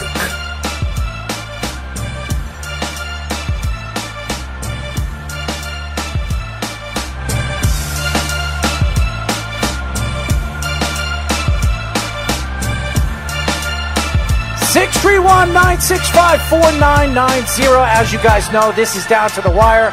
We are live Monday and Tuesday from 6 p.m. to 8 p.m. New York Eastern Time. As you know, we have our show Below the Mic, which is also Thursday, 6, uh, 6 p.m. to 8 p.m. New York Eastern Time. And to this week, we do have our MMA show, Caged in MMA. Me and Anthony Andorosi, uh, he will be joining me, and we will be arguing all the Khabib crap that we're going to be hearing from all the fans throughout the country. And Errol will probably bash Dana White in the beginning of the show. Well, I always like to. well, I like to bash him one way or another, but uh, I'm looking forward to that show as well. We're going to have an ex. Uh, well, we have an ex uh, UFC fighter joining us this week, and we have uh, a current UFC fighter that lost on the Saturday night card. So uh, I'm looking forward to getting uh, Mr. Hernandez to join us as well. So that'll be fun. Uh, hopefully, uh, he will be joining us. He did lose his fight. He, he's now eight and two, but uh, looking forward to his thoughts on his uh, his last fight and his future endeavors in the UFC. But as you guys know, I wanted to get into this topic before our show was over. We're not going to have debate hour today. We'll have debate hour tomorrow. Who do we have on the show tomorrow? Tomorrow, tomorrow we have another. We have James Jones, who's uh, the Yale basketball coach. Okay. Uh, tomorrow at six thirty. I forgot the other guy's name off the top of my head. I believe That's all right. I believe he's at seven though. So, and we're going to have another coach. So that'll be another coach. So we have this is Coach Week for us. Yeah, a lot of college coaches this week. So it'll be fun, and if you guys are a college, college basketball, college baseball, college football fan, well, you'll like our show this week. So because we have a lot of great guests, we just had two really, really uh, good guests, and uh, Mr. Dit Tomoma, Dit Toma. I'm sorry. yeah, you had a nice streak of three in a row. well, there you go. Div Toma, Mr. Rob Div Toma, and we also had Tracy Woodson. Uh, it was a great, great, two really, really good interviews, and uh, gave us some good insight in college rankings and the MLB rankings as well. Well, as you guys know, I want to go through our top ten um, players of the baseball decade, and we're going to tell you why we think they're top ten and the reasoning behind it. Are you ready, Speedy? Let's go. Let's go. Let's get it. All right, so number 10, here's one that I think gets undervalued because he hasn't been good in a while, but he was one of the more steady closers in this decade. I'm going to say Craig Kimbrel, number 10. He was dominant with Atlanta. And again, a lot, for a position for the the closing position that you see phases. You see a lot of guys are good for a little while, but then they they'll phase out. Craig Kimbrel and one of the other guys I'll mention later were really the only two consistent closers in that time. Craig Kimbrel was borderline Cy Young candidate in some years with the Braves. Some early 2010 Braves teams that were very good. So he's my number 10. He hasn't been as good lately for the Red Sox, but again, I would say from 2010 to 2017, he was one of the most steady guys you'll uh, ever we've ever seen. My number 10 is Chris Sale. Uh, he's been one of the most dominant American League pitchers in the last 10 years. This is a guy that won an American League Cy Young.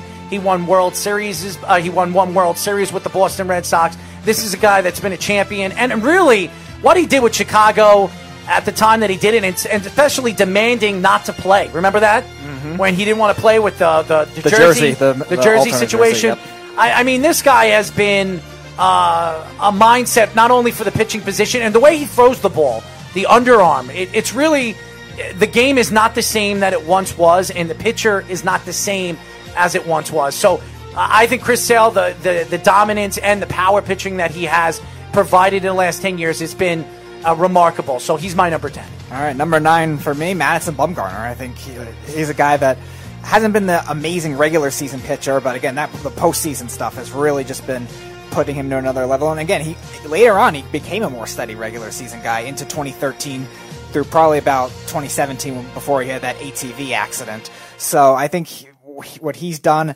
in that time. You really have to give him a lot of credit for that postseason. It was the best World Series ERA that we've ever seen in 2014. And he was dominant even in 2010 when he was the fourth guy in that rotation. When they had Lincecum and they had Matt Cain. He was uh, very good in that postseason too, and that comeback. Remember, they were fourth place at the All Star break, so he's been very good for a while, and we'll see how he comes back now with the Diamondbacks. But again, probably outside of the last two seasons, he's really been a steady force in this entire decade and, again, dominant in the postseason. My number nine is another Boston Red Sox, Mr. Mookie Betts. And Mookie Betts, an MVP, and, and really, in the last six or six years, he's been one of the best hitters, hitters in baseball, one of the best defensive players in baseball, plays multiple positions, really a dominant player, especially in the World Series uh, that they won a couple of years ago. He was one of the best players on the team throughout the season, and that's why he won the MVP. And really, what this Boston Red Sox team over the last couple of years has just been uh, remarkable, and he's one of the main reasons why, and the mainstay of players that has been the reason why the Boston Red Sox in their dominance. So my number nine is Mookie Betts. All right, number eight for me, I'm going to say Yadier Molina. I think Yadier Molina, when you look at everything he's done, all the great defensive prowess that he has, working with a lot of different pitchers. The Cardinals change players a lot. We see them have a quick leash on a lot of their pitchers, and Yadier Molina's worked well with all of them. And in addition to that, he's also a good, great offensive catcher. Won a batting title, won an MVP, hit 300 or close to 300 a lot of his career, and even a couple years ago hit over 20, uh, 20 I think 22 home runs. So when you look at a steady dominance of catcher, just one of the sm- smartest, if not the smartest, baseball IQ in the league, and again, him him just being so great defensively and a position in the catcher where again it's undervalued, but it's very important on the field when in terms of being the smartest guy and working with the pitchers and the other fielders. My number eight is also a catcher, but it's not Mr. Molina. It's Mr. Posey, and Mr. Posey is one of the he's been one of the best dominant catchers in the last ten years. He won a couple of World Series. He was a big part of those World Series runs. And really, with all the dominant pitching that the Giants have had year in and year out with Bumgarner and all the different pitchers they've had over the years. He was one of the main guys and the, one of the main, main reasons why these pitchers produced and became the Cy Young candidates they once was, was and were. So it's Buster Posey as my number eight. Alrighty. Number seven, uh, out. Number seven for me, I will take the other closer I was talking about in Aroldis Chapman. I think for a long time he was that other guy. He was the lefty version. Him and Kimbrel were on and off of who was the best closer in baseball. And again, both of them have been so consistent. I think Chapman surpassed him now. Uh, definitively, but it was always very close. And again, 106 miles an hour that he threw at Cincinnati. Again, he was on some good Cincinnati Reds teams in the early part of the decade. They kind of obviously fizzled out after that, but he was very consistent for a while. He then went to the Yankees, then he went went to the Cubs, he went back to the Yankees, and obviously he's been very steady for a very long time. And again, still has that velocity in him to be able to be just one of the most most dominant closers. And probably another year or two, you could talk about him in the Hall of Fame discussion because he's got he's got the monumental amount of saves too. My number seven is Miguel Cabrera, Triple Crown winner, dominant player, and, and even if he has really died down as as a player in the major leagues, especially with the Detroit Tigers his last couple of years. This guy has been one of the most dominant hitters in 2010 all the way to 2014. He was as good as anybody in the league. And even though aging and, and really as the player that he once was. He's not anywhere close to the player that he once was. This is the last. He is the last player since Mickey Mantle to win a triple crown. So uh, it's it's a remarkable career, and I think Miguel Cabrera is. I wouldn't put him in my top five, but in my top ten, you have to put him there. I'm going to go with a number for number six. I'm going to go with a guy with some very good longevity. How about Adrian Beltre? I mean, for a while he was a dominant third baseman. How long he played? He was a rookie in 2004, and he ended. I think he only just retired in 2018. Steadily was healthy. Steadily, uh, he had a couple injury issues at the end of his career, but steadily healthy. One of the best defensive third basemen at his time, and one of the more consistent hitters. Great playoff player for the Rangers when they went to their back-to-back World Series. And I think, again, he's somebody, 3,000 hits. He's somebody that will definitely get into the Hall of Fame at some point. Or you would think in realistic standpoints, but who knows at this rate with the way the baseball writers are. So number six, I would, I'll say Adrian Beltre. Um, my number six is Adrian Beltre too. I, I agree with you. I'm looking at some of his numbers. This guy is a Hall of Fame player. He's been his longevity in the league, and really what he's done everywhere he's gone, he's been a leader, and and and the special ability that he has as not only a Spanish player, but as a player growing up as a major league player, played with a lot of great players.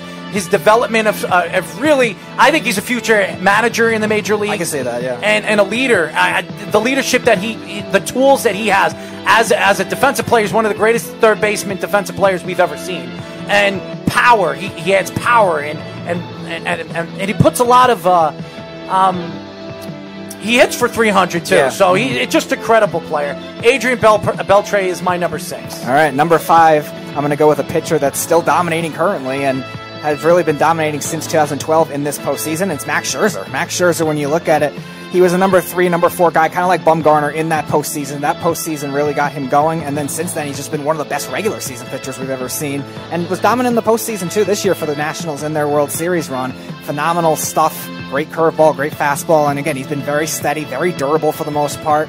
Again, he had that he had well, those those thumb issues this year, but again, really beyond that, he's been extremely durable, and he's won uh, two Cy Youngs. He's been in the conversation pretty much every year, and very consistent as a whole, really from 2012 to today, and he's still one of the best pitchers in baseball today. My number five is Clayton Kershaw, uh, the dominant pitcher that he was the last, really the last 15 years, 12 years, the dominance that he is, but he has not really produced in the playoffs, and that's been his problem. And if you look him at as a player, and you have to lower this, I don't like this sound in the background, but as a player and really as shut that off, shut the music off. I, I, I hate when you do that. When you pick music that doesn't have voices over it. And you did this last time. But it's Clayton Kershaw, really the dominance of a pitcher with the LA Dodgers. And, and what he did for the Dodgers organization the last couple of years with Joe Torre uh, coming to the team. And Joe Torre said, and imagine Joe Torre coming out and saying that he's the best pitcher he's ever coached. And you're talking about Andy Pettitte, some of the great pitchers he had with the New York Yankees over the years in the championship Yankee teams like the David Wells and the Roger Clemens and all the other pitchers that he's had. He says that Clayton Kershaw is the best pitcher he's ever coached. So uh, to me, what Clayton Kershaw has done in the regular season has been absolutely remarkable. You, when you talk about Peyton Manning and comparing their careers together, both guys have been dominant in the regular season, and they they really weren't as dominant players in the playoffs as they were in the regular season. So if if you compare him to a Peyton Manning, you can't take you can't you can't knock him off the board because it is Peyton Manning. So Clayton Kershaw is my number five. All right, number four, I'm going to take a, a- a- probably the second best pitcher when you come looking at judging recently is Justin Verlander. Another guy that's been kind of up and down in the playoffs. He's been great at times, especially in 2012 when they went to the World Series. But again, he's been up and down. I think that's really the only knock on him. But again, beyond that, he's been very steady. He had a couple bad years in 2014 and 15, but that was really it. When judging this decade, he's been rebirthed nicely since he's gone to the Astros. But again, when he was pitching, he was a strikeout guy, fastball guy, curveball guy. He could do everything and was amazing statistically. So Justin Verlander, number four for me. Number four is Jacob Degrom, and I'll say I'll tell you why Jacob Degrom. How many pitchers you know in the National League won back-to-back Cy Young uh, champion Cy Young awards uh, in in the last ten years? Not many. And Jacob Degrom, I don't care what anybody says. Well, he hasn't been dominant in the last ten years, but the last three or four years, he's been one of the most dominant pitchers in baseball. Go look at his numbers. He had a career year a couple of years ago, 1.77 ERA. Dominant pitcher, won the Cy Young, back-to-back Cy Youngs, and he had a Cy Young with a losing record. It, it, how many pitchers you've seen done do that in the last couple? I think the only other one was Zack Greinke when he was with the Royals. Um, also the guy that played for the Oh, Felix Hernandez. Felix maybe, Hernandez, too. yeah, Felix okay. Hernandez too. So I, I, he has had a remarkable career so far, and he, remember he was drafted as a shortstop and really transitioned as a pitcher. It's a remarkable story and a remarkable career, and I think this guy's been as dominant as any pitcher in the last ten years. So Jacob Degrom is my right, number num- four. number three for me uh, is a guy you mentioned earlier in Buster Posey. I think again, you, when you look at him, just tremendous regular season and postseason. Good offensive catcher, hit 300. I think he hit 330 one year in his batting title year. He won an MVP. Again, until just recently, very durable for the most part. Again, great defensive catcher, great with working with a lot of different pitchers. And again, he's had some injury issues lately, but again, for the most part, throughout the whole decade and his postseason prowess, you got to put Buster Posey up there. Number three, Max Scherzer. I mean, you put him at your number five. I put him at my number three. He has been as dominant as any pitcher in baseball the last 10 years. You want to talk about a guy that has won a couple of Cy Youngs? This guy is has been on the top three Cy Young award winner, you know, on the top three voting for Cy Young for the last seven or eight years. He's been the most dominant player since he's gone to the Washington uh, Washington Nationals, and he was a big part of their World Series championship last year. They brought him to win a championship. He finally won that championship, and what he's done really re- remarkable, being traded the way he was. Uh, the way uh, from Arizona to Detroit, and really having the career that he has with Detroit, and then going to the Nationals has been a remarkable career. This is guy is a first ballot Hall of Famer. Max Scherzer as my number three. All right, number two is who you just mentioned a little bit earlier is, is Clayton Kershaw. I think he's been the best, really the best pitcher of this era when you look at it. Yeah, the postseason is, is what's keeping him from being number one because he hasn't gotten done, it done in the postseason. But as we were talking about with Tracy, I mean, who says what, his legacy wouldn't have changed if the Astros didn't cheat and he finally got it over it in Game Five because he, he pitched well in one of those World Series games too. Keep- that in mind. I think it was Game One or Game Two in LA. So he's definitely been the best statistical pitcher. I think he three Cy Youngs, and again, a lot of strikeouts. Probably the best curveball in terms of a generational pitch that we have in the game right now. One of the best we've ever seen, and definitely going to be a Hall of Famer when his time comes. Again, the only thing stopping him from being number one is can he get it done in the playoffs? Justin Verlander as my number two. He's been the most dominant pitcher in my eyes in the last 10 years. And I know a lot of. I have Carl saying, why, why isn't Rizzo on the list? Rizzo is still. Too early. He's still early. And, and, and to me, we're looking at the last 10 years, and Rizzo hasn't been the top. Uh, a top player in the league for the last 10 years. So, um, really, Justin Verlander has been the most dominant player and pitcher in, in, in the last 10 years. T- pitcher, I'm sorry, not player. But really, his dominance in the American League, and in, in the American League, which dominant has been dominant from the National League for the last 10 years. Uh, the power hitting, the DH position has really trans- transitioned the game, especially in the American League. And I just think Justin Verlander winning the championship with Houston, yes, they cheated, but this is a guy that has been uh, a Cy Young candidate for the last 10 years. He's been uh, amongst the league's top four, top five pitchers. So, uh, dominant pitcher, and he's gotten better as has he gotten older. So, Justin Verlander as my number two. And number one is the best player in baseball currently, Mike Trout. I mean, how could you not say Mike Trout for a guy that's been so consistent? He had one injury riddled year in 2017, but his his pace to what he would have done in that season, even too, was amazing. He was on pace to have almost 50 home runs. I think hit 320 something in that season too. He's just been so good everywhere. Power, stolen bases, defense. Fantastic. He's the best player in baseball and has been really for the last, I would say, six years since he came up in 2012. And Carl's arguing his point right now. He says Rizzo over Beltre. Beltre is, to me, right now, Beltre is a better player. He, he just is. Longevity and what he's done at the position. Go look at his numbers. Uh, go look at what he has done in the league as a defensive player, as an offensive player. Rizzo hasn't won the Gold Gloves that Beltre has won. Right. So i- it's a different. You can argue your points. And Jacob Degrom, yes, you're right. Jacob Degrom doesn't deserve it, but Jacob Degrom has won back-to-back Cy Youngs, and there are not many uh, pitchers have done that in the last ten years. So Jacob Degrom's on my list because of his dominance uh, as a pitcher the last couple of years. So. Um, as far as I'm concerned, it's Mike Trout. Mike Trout has been the best player in baseball for the last five years, uh, six years. He's been a, an MVP candidate practically every single year, year in and year out. The fact that he hasn't won back to back to back to back MVPs doesn't make any sense to me. He deserves it. And, and really what he is as a, as a baseball player, and really he is not the face of baseball. That's what makes him so special.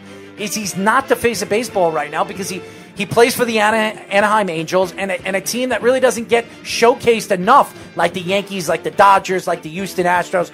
So Uh, it's absolutely Mike Trout. He's been the best player in baseball and could go down as one of the top five, top three best baseball players if he can stay healthy uh, for the rest of his career. So it's Mike Trout. So those are our top 10 baseball players of the decade. I know you guys might have your own, and you can argue your points. Yes, Rizzo's played for eight years. If you think Rizzo is in the top 10 of the decade because he's played eight years, he has not been, and I'm sorry, Carl, I'm going to argue your point here. Rizzo has not been a top player at his position for the last eight years. You think he's been the top first baseman in baseball Right. in the last eight years? He hasn't been. There's different phases too. You know, Joey Votto was that for a while. You got like you were saying Miguel Cabrera earlier. I like Pujols. Rizzo. I like him as a player. I think Rizzo has been in that top five mold for a little bit. But I again, take Bryant over him.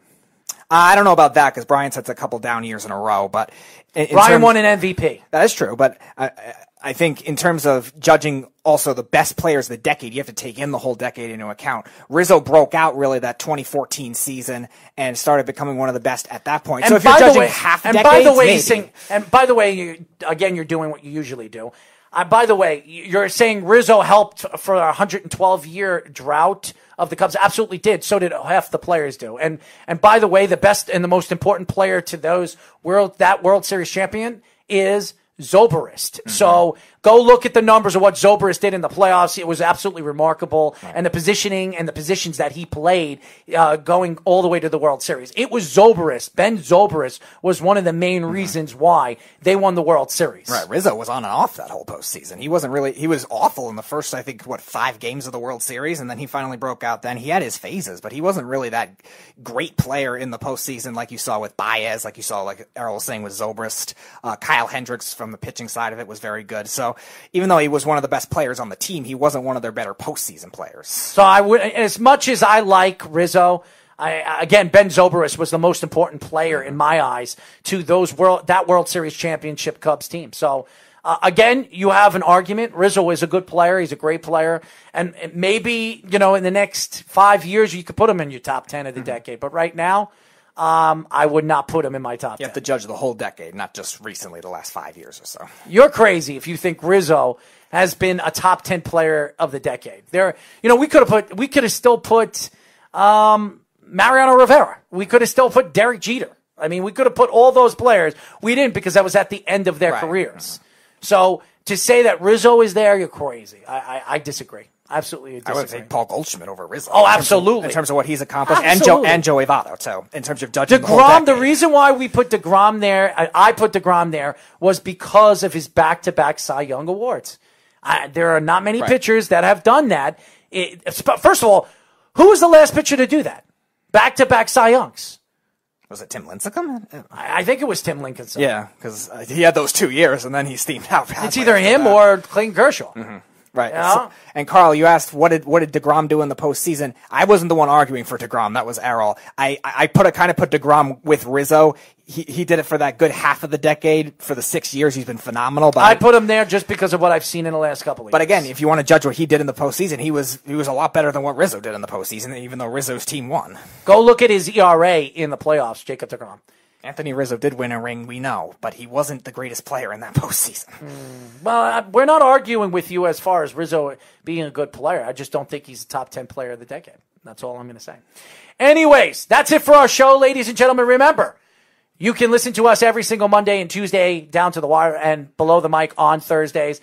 I'd like to thank all the fans. I'd like to thank uh, Rob DiToma, DiToma for joining us, uh, the uh, FDU Knights head coach and uh, the Richmond Spiders head coach, Tracy Woodson. Great interviews, gave us great insight. Shout out to uh, Ricky and Jillian for getting them on the show. Uh, great insight of what's going on in the major leagues and college rankings.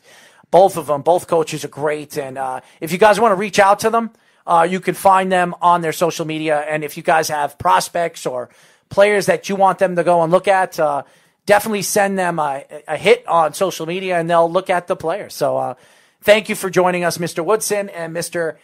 DiToma. Anyways, uh, shout out to all our fans that listen to us. Carl uh, Snug, Jeff for calling the show, uh, Kenny Rayner, all the fans that listen to us and have been really big supporters of what we've been doing the last couple of days. Shout out to um, Ryan for his show. The Morning Boys this morning was a great show for Ryan. If you guys want to watch the replay, go on our app. Guys, download our app. Download our app. All you have to do is go on your iOS, WWSRN, and on the Android, Worldwide Sports Radio Network. Uh, we'll be back tomorrow. We have a great show lined up for you and some good intake. And by the way, Carl, if you want to call the show and argue your points about Paul Goldschmidt or uh, Mr. Rizzo, you can do that as well. Uh, we have no problem to that. Um, again, uh, happy Memorial Day to all the fans out there. Uh, uh, drive safe. stay social distancing, guys. Social distancing. don't think that the COVID 19 is going away. It's very much here and it's not going anywhere. So stay clear, stay safe, and we will talk to you tomorrow. Good night, everybody. You're, you're, you're listening to the Worldwide Sports Radio Network.